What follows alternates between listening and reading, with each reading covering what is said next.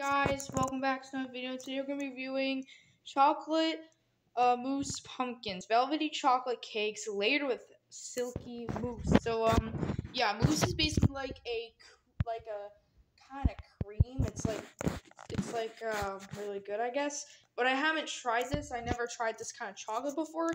Uh, so yeah, here's the back. Nothing really special. You can kind of see like the chocolate, I guess. So uh, yeah, open it. I finally reviewed like uh like a like another like another like Halloweeny kind of candy. This is kind of Halloween. So um yeah, these are how they look like. It smells pretty good. So um yeah, so uh here's what it looks like out of like the wrapper thingy. Oh wow, it looks like a brownie. That's pretty cool. So yeah, I'm gonna try it. Mmm. Mmm, that tastes really good.